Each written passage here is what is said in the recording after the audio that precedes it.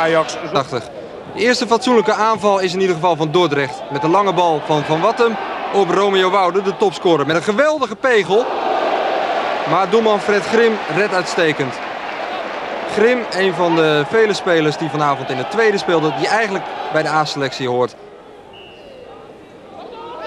Winston Bogarde speelde vanavond linksachter. Zijn tweede wedstrijd voor de Amsterdamse club sinds hij bij Sparta vandaan gehaald is.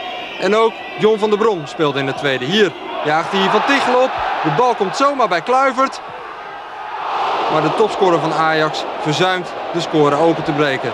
Kluivert, dus ook een speler die vaak in het eerste speelt. Wijnard op Van der Brom. De drijvende kracht achter dit tweede elftal van Gerard van der Lem. Hij kijkt goed. Reuzer op het randje van buitenspel.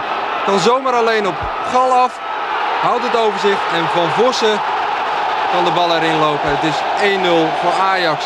Van Vossen, dus ook een speler die vaak in het eerste speelt. Geen buitenspel, want er was een verdediger blijven hangen bij Van Vossen.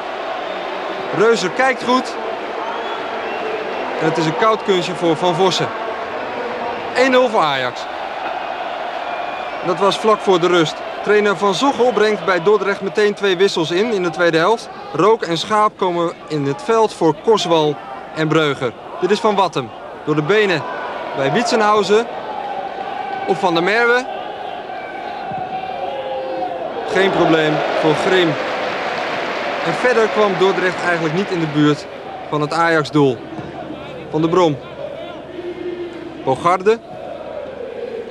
Van Vossen.